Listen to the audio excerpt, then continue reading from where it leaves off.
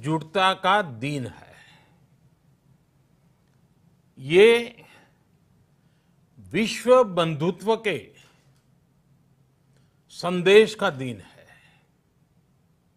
ये oneness of humanness का दिन है, जो हमें जोड़े, साथ लाए, वही तो योग है। जो दूरियों को खत्म करे, वही तो योग है। कोरोना के इस संकट के दौरान दुनिया भर के लोगों का my life my yoga, video blogging competition में हिस्सा लेना इस बात को दिखाता है कि योग के प्रति उत्साह कितना बढ़ रहा है, कितना व्यापक है। साथियों, इस साल अंतर्राष्ट्रीय योग दिवस की theme yoga at home and yoga with family. ये तय हुई है। आज हम सब सामूहिक कार्यक्रमों से दूर रहकर घर में ही अपने परिवार के साथ मिलकर योग कर रहे हैं। बच्चे हो, बड़े हो, युवा हो, परिवार के बुज़ुर्ग हो, सभी जब एक साथ योग के माध्यम से जुड़ते हैं तो पूरे घर में एक ऊर्जा का संचार होता है। और इसलिए इस बार का योग दिवस, अगर मैं दूसरे शब्दों में कहूँ तो ये भावात्मक योग का भी दिन है। हमारी फैमिली बॉन्डिंग को भी बढ़ाने का दिन है। साथियों, कोरोना पैंडेमिक के कारण आज दुनिया योग की ज़रूरत को पहले से भी अधिक गंभीरता से महसूस कर रही है। अगर हमारी इम्यूनिटी स्ट्रांग हो तो हमें इस बीमारी को हराने में बहुत मदद मिलती है। इम्यूनिटी को बढ़ाने के लिए योग की अनेक विध विधियाँ हैं। अनेक प्रकार के आसन है। वो आसन ऐसे हैं जो हमारे शरीर की स्ट्रेंथ को बढ़ाते हैं। हमारे मेटाबॉलिज्म उसको शक्तिशाली करते हैं। लेकिन कोविड 19 वायरस खास तौर पर हमारे श्वसन तंत्र, यानी कि रेस्पिरेटरी सिस्टम पर अटैक करता है। हमारे रेस्पिरेटरी सिस्टम को स्ट्रांग करने में जिससे सबसे ज़्यादा मदद मिलती है, वो है प्राणायाम।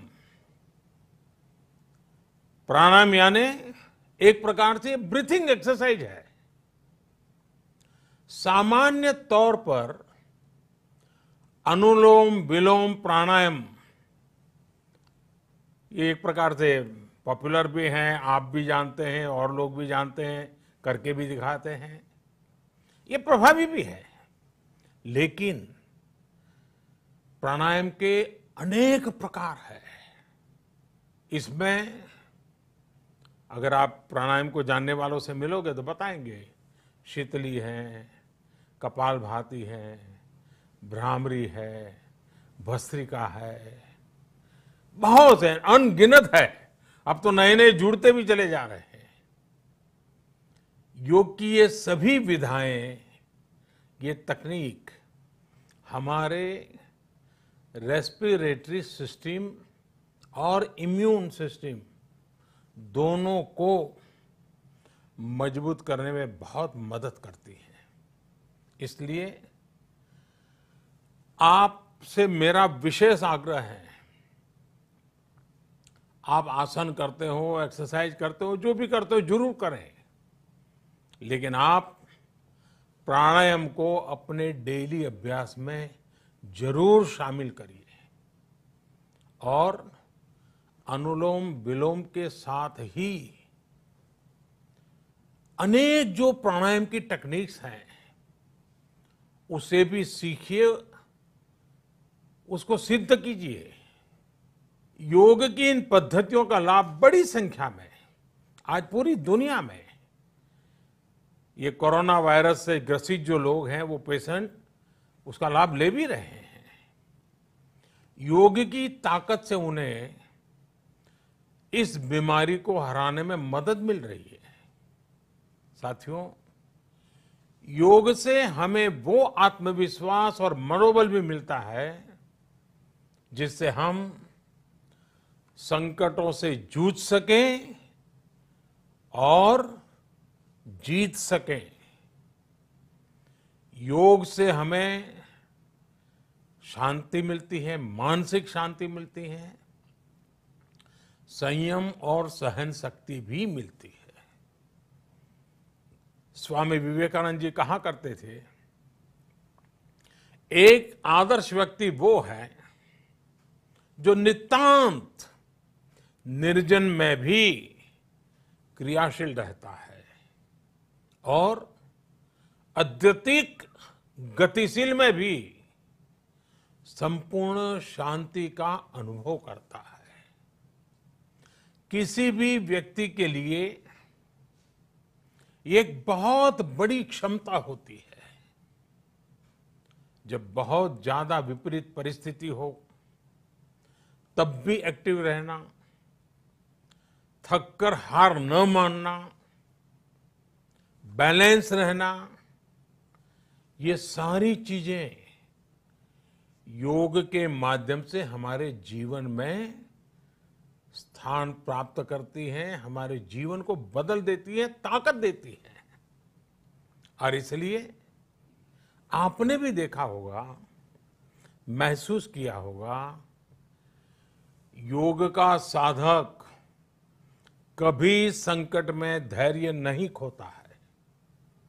योग का अर्थ ही है, समत्वम योग उच्चते अर्थात अनुकूलता, प्रतिकूलता, सफलता, विफलता, सुख, संकट, हर परिस्थिति में समान रहने, अडिग रहने का नाम उसी तो योग कहते हैं। Friends yoga enhance our quest for a healthier planet it has emerged as a force for unity and deepens the bonds of humanity. It does not discriminate. It goes beyond race, color, gender, faith, and nations. Anybody can embrace yoga. All you need is some part of your time and empty space. Yoga is giving us not only the physical strength, but also mental balance and emotional stability to confidently negotiate the challenges before us. Friends, if we can fine tune our course of health and hope, the day is not far away when world will witness the success of healthy and happy humanity. Yoga can definitely help us make this happen साथियों जब हम योग के माध्यम से समस्याओं के समाधान की बात कर रहे हैं दुनिया के कल्याण की बात कर रहे हैं तो मैं योगेश्वर कृष्ण के कर्मयोग का भी आपको पुनः स्मरण करना चाहता हूँ। गीता में भगवान कृष्ण ने योग की व्याख्या करते हुए कहा है, योग कर्मसु कौशलम। अर्थात, कर्म की कुशलता ही योग है। Efficiency in action is yoga ये मंत्र सदा सर्वदा हमें सिखाता है कि योग के द्वारा जीवन में अधिक योग्य बनने की क्षमता पैदा होती है। अगर हम अपना काम अनुशासन से करते हैं, अपना दायित्व निभाते हैं तो भी एक तरह का योग ही है। साथियों, कर्मयोग का एक विस्तार और है। हमारे यहाँ कहा गया है, युक्त आहार विहारस्य, युक्त चेष्टस्य कर्मसु। युक्त स्वप्नावबोधस्य योगो भवती दुखा। अर्थात सही खान पान सही ढंग से खेलकूद, सोने जागने की सही आदतें, और अपने काम, अपनी ड्यूटीज़ को सही ढंग से करना ही योग है। इसी कर्मयोग से हमें सभी तकलीफों और समस्याओं का समाधान मिलता है।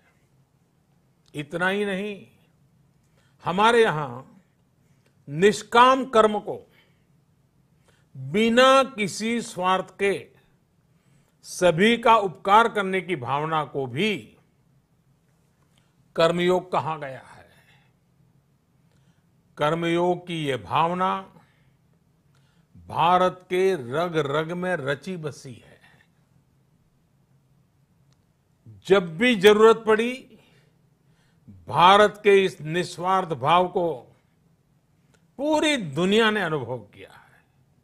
साथियों, जब हम योग से चलते हैं, कर्मयोग की भावना से चलते हैं तो व्यक्ति के तौर पर, समाज के तौर पर, देश के तौर पर हमारी शक्ति भी कई गुना बढ़ जाती है। आज हमें इसी भावना से संकल्प लेना है। हम अपने स्वास्थ्य के लिए, अपनों के स्वास्थ्य के लिए हर संभव प्रयास करेंगे। एक सजग नागरिक के रूप में, हम परिवार और समाज के रूप में एकजुट होकर आगे बढ़ेंगे। हम प्रयास करेंगे कि yoga at home and yoga with family को अपने जीवन का हिस्सा बनाए। ये सिर्फ़ एक दिन के लिए नहीं होना चाहिए। और अगर हम ये करेंगे तो हम ज़रूर सफल होंगे। हम ज़रूर विजयी होंगे। इसी विश्वास के साथ आप सभी को फिर से अंतर्राष्ट्रीय योग दिवस की अनेक अनेक शुभकामनाएँ। लोका समस्ता सुखिनो भवंतु ओम।